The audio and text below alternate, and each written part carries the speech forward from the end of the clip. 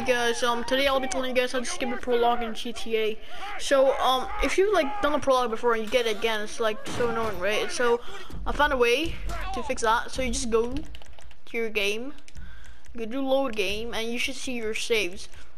Uh, so click any one of them. So there we go. That should load you into the save. Just wait for that.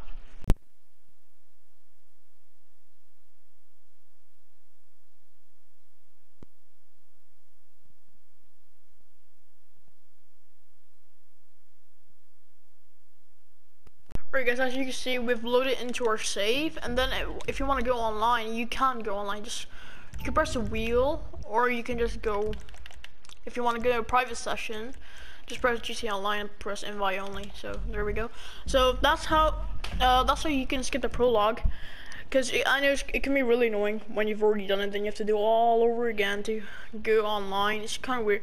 So yeah, so that was how you can skip it. Anyways, uh, I know this was a short video, guys, but if you enjoyed, I mean, if you liked this method, make sure you you leave a like. You you could you do you you want like and subscribe to my channel. See y'all on the next one. Bye.